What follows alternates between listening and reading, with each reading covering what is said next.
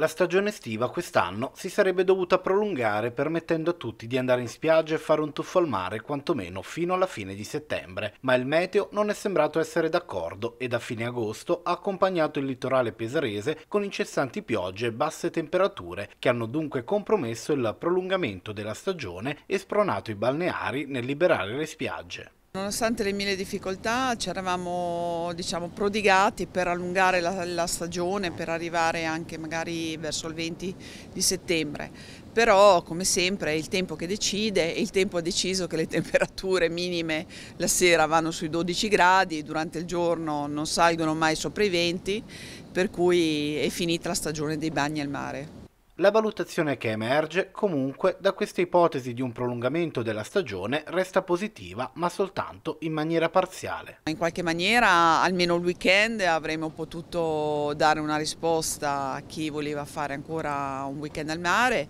ma ci avrebbe permesso anche di chiudere con più calma le strutture, di sistemare le cose in maniera diversa e invece abbiamo dovuto fare veramente una volata finale quest'anno 2024. Abbiamo dovuto ritirare tutto molto in fretta fretta e in più abbiamo, comunque eravamo in ansia un po' anche per queste allerte meteo continue che ci sono state sia per il forte vento dei giorni scorsi che per la pioggia insistente che ci aspetterà oggi martedì ma anche mercoledì e giovedì. Forse smetterà di piovere venerdì, mi dicono le previsioni. Si riflette dunque per il futuro, chiedendo una migliore organizzazione e soprattutto tempistica, così da poter preparare la stagione, nel caso dovesse prolungarsi nuovamente, in maniera migliore. Le cose vanno programmate, il lavoro va programmato e anche per avere il personale perché è, impossibile gestire un lido da soli, quindi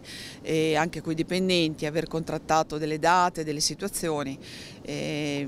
la situazione del salvataggio in cui la Capitaneria di Porto ci ha chiamato il 28 agosto per una cosa che doveva essere un cambiamento delle regole dal primo di settembre è stata una cosa veramente che ci ha messo un pochino in difficoltà. Tolti lettini e sdraio è tempo anche di bilanci, si tirano dunque le somme sulla stagione estiva che si è appena conclusa. Come Pesaro, capitale della cultura, doveva essere sinceramente una stagione promettente e all'inizio, in primavera e inizio estate lo è stata. Abbiamo visto diversi eh, turisti che venivano proprio per vedere la città e che si fermavano anche al mare.